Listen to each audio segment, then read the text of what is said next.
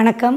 நான் doctor Gowri consultant diabetologist Kaveri hospital திருச்சியிலேருந்து பேசுகிறேன் எல்லோரும் சந்தோஷமாக விநாயகர் சதுர்த்தி கொண்டாடிருப்பீங்க கொழுக்கட்டை நிறையா சாப்பிட்ருப்பீங்க இன்னொரு விஷயம் கூட சமீபத்தில் ஒரு இன்ட்ரெஸ்டிங்கான விஷயம் நடந்தது. பொன்னியின் செல்வனோட ட்ரெய்லர் ரிலீஸ் ஆச்சு.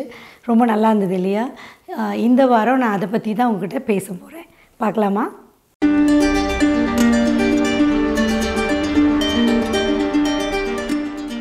பொன்னியின் செல்வன். நைன்டீன் ஃபிஃப்டி ஃபோர்ஸில் ஒரு நாவலாக வெளியான அந்த பொன்னியின் செல்வன் ஃபேமஸ் ரைட்டர் கல்கி அவர்களால் எழுதப்பட்டது. நான் பிறக்கிறதுக்கு முன்னாடி ஆக்சுவலாக நான் டென்த் ஸ்டாண்டர்டு படிக்கும்போது எங்கள் அம்மா வந்து எனக்கு கொடுத்த ஒரு நாவல் நல்லாயிருக்கும் இதை படி எனக்கு ரொம்ப பிடிச்ச நாவல்னு கொடுத்தாங்க. ஸோ டென்த் ஸ்டாண்டர்ட் லீவ்லன்னு நினைக்கிறேன். உட்காந்து படித்து தள்ளி ஒரு ஒரு பத்து நாள் ஆயிடுச்சு கம்ப்ளீட்டாக வேறு சாப்பிட்றது மட்டும்தான் வேலை. சாப்பிட வேண்டியது படிக்க வேண்டியது. So it was very nice experience அந்த பொன்னியின் செல்வன் வந்து இப்போது சினிமாவாக எடுக்கிறாங்க அப்படிங்கும்போதே ஒரு ரொம்ப ஒரு பரவசமான ஒரு விஷயம்.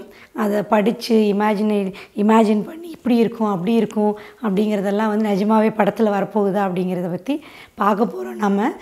ரொம்ப நல்லா இருந்தது அந்த ட்ரெய்லர் ஆக்சுவலாக அந்த பொன்னி நதி பார்க்கணுமே அப்படிங்கிற அந்த சாங் வந்து சூப்பர்பாக இருந்தது.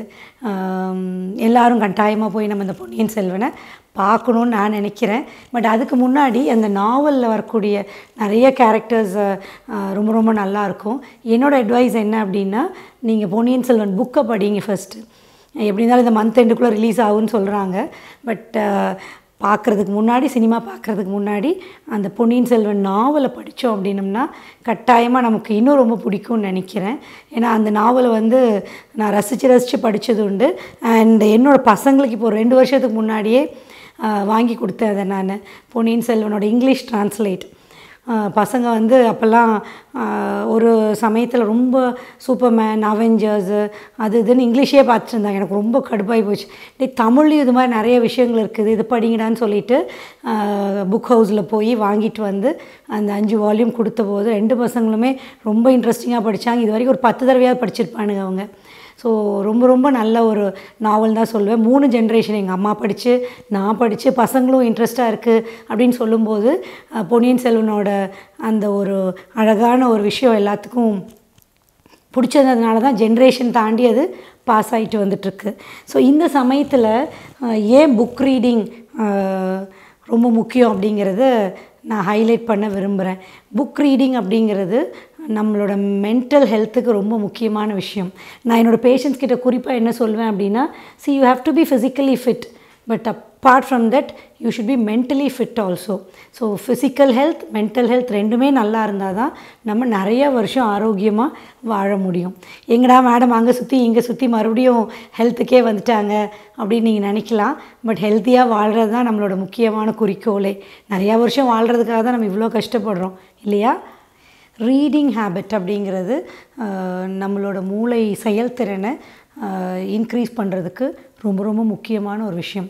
ரீடிங் அப்படிங்கிறது வந்து புத்தகங்கள் படிக்கலாம் நியூஸ் பேப்பர் படிக்கலாம் பத்திரிகைகள் படிக்கலாம் துணிக்கு துணுக்குகள் படிக்கலாம் கவிதை படிக்கலாம். ஸோ படிக்கிறதுங்கிறது ஒரு நல்ல விஷயம்.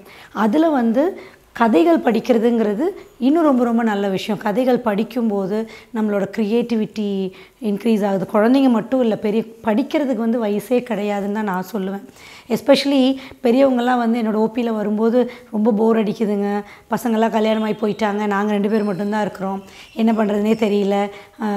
வாக்கிங் போனால் கால் வலிக்குது. ஒரு பத்து நிமிஷம் தான் போகிறோம் அப்படின்னு சொல்லிட்டு நிறைய பேர் டிவியில் உட்காந்துறாங்க பட் என்னோடய பர்சனல் அட்வைஸ் வந்து தயவு செஞ்சு ஸ்க்ரீன் டைமை குறைச்சிக்கோங்க. அதுக்கு பதிலாக வந்து புக் ரீடிங் வந்து ரொம்ப ரொம்ப ஒரு நல்ல ஒரு ஹேபிட் இந்த புக் ரீடிங்கில் நம்ம கதைகள் படிக்கும்போது நம்மளோட சந்தோஷம் இன்க்ரீஸ் ஆகுது ஸ்ட்ரெஸ்ஸு குறையுது ப்ளட் ப்ரெஷர் கூட குறையுதான். நிறையா ரிசர்ச்சில் சொல்லியிருக்கிறாங்க. நல்ல நல்ல ஒரு நாவல்கள் எடுத்து உட்காந்து படிக்கும்போது நைட் நல்லா தூக்கம் கூட வருமா? நான் நிறைய நாவல்கள் படிப்பேன். நல்ல நாவல்கள் சூஸ் பண்ணுங்கள் இதுதான் படிக்கிறோன்னு இல்லை எது கிடைக்குதோ படிங்க. படிக்க படிக்க நம்மளோட பிரெயின்குள் உள்ளே இருக்கிற அந்த எலக்ட்ரிக்கல் சர்க்கியூட்ஸ் வந்து நல்ல ஸ்பார்க் ஆகி நல்ல ஞாபக சக்தி வருமா? வயசாக ஆக அல்சீமஸ் டிசீஸ் டிமென்ஷியர் எல்லாம் கூட சொல்கிறாங்க அதெல்லாம் கட்டாயம் நமக்கு வரவே வராது. ஸோ படிக்கிற ஹேபிட் வந்து ரொம்ப நல்ல விஷயம். அதை கட்டாயமாக எல்லோரும் ஃபாலோ பண்ணியே ஆகணும். பொன்னியின் செல்வனில் எனக்கு ரொம்ப பிடிச்ச கேரக்டர் வந்து வல்லவராயன் வந்தியத்தேவன். ரொம்ப குறும்புத்தனமாக நேச்சுரலாக இருக்கிற மாதிரி ஒரு கேரக்டர் இருக்கும். மற்ற கேரக்டர்ஸ் எல்லாம் வந்து அந்த ஹிஸ்டாரிக்கல் நிஜமான கேரக்டர்ஸ் அப்படிங்கிறனால அது அந்த கதையில் வந்து அவ்வளோ ஒரு சீரியஸாக கொண்டு போயிட்டுருப்பாங்க. ஆதித்ய கரிகாலன் ஆகட்டும் அருண்மொழிவர்மன் ஆகட்டும் ப்ளஸ் குந்தவை ஆகட்டும் அப்புறம் பெரிய பழுவேட்டரையர்லாம் இருப்பாங்க. ஸோ அதில் வந்து இந்த வந்தியத்தேவன் வந்து கொஞ்சம் நம்ம காலத்து எந்த காலத்துக்கும் ஏற்ற மாதிரியான ஒரு கேரக்டர் ஜாலியான ஒரு கேரக்டர் தப்பு பண்ணுவார் வீரமாக இருப்பார் ஒரு நல்ல ஃப்ரெண்ட்ஷிப்பு ப்ளஸ் ஒரு ரொமான்ஸு ஒரு நல்ல ஒரு கேரக்டர் எனக்கு அந்த கேரக்டர் ரொம்ப ரொம்ப பிடிக்கும். அந்த அதனால் எல்லாத்துக்கும் பிடிச்சதுனாலையோ என்னமோ தான் இந்த பொன்னியின் செல்வன் வந்து அக்ராஸ் ஜென்ரேஷன்ஸ் எல்லாத்துக்கும் பிடிச்சிட்ருக்குன்னு நினைக்கிறேன். ஸோ இந்த பொன்னியின் செல்வனில் வரக்கூடிய சினிமாவில் வரக்கூடிய கேரக்டர் கார்த்தி ப்ளே பண்ணுறாரு let us wait and see if he really lives up to the expectations எனக்கு பொன்னியின் செல்வன் பிடிச்ச கேரக்டர் வந்தியத்தேவன் நான் இப்போ சொன்னேன். உங்களுக்கு எந்தெந்த கேரக்டர் பிடிக்கும் அப்படின்னு சொல்லி கமெண்ட் பாக்ஸில் கமெண்ட் பண்ணுங்கள் நானும் பார்க்குறேன் மற்ற வியூவர்ஸும் அதை பார்ப்பாங்க. இப்போது நான் சிவாஸ் ட்ரைலாகி அப்படிங்கிற ஒரு புக்கு படிச்சுட்டு இருக்கேன். ரொம்ப சூப்பராக இருக்குது நீங்களும் இப்போ என்ன புக் படிக்கிறீங்க அப்படிங்கிறத கமெண்ட் பண்ணுங்கள் இல்லை இதுக்கப்புறம் நான் இந்த புக்கை படிக்கலான் இருக்கிறேன் அப்படிங்கிற மாதிரி இருந்தாலும் கமெண்ட் பாக்ஸில் கமெண்ட் பண்ணுங்கள் அடுத்த வீடியோஸில் பார்க்கலாம். வணக்கம்.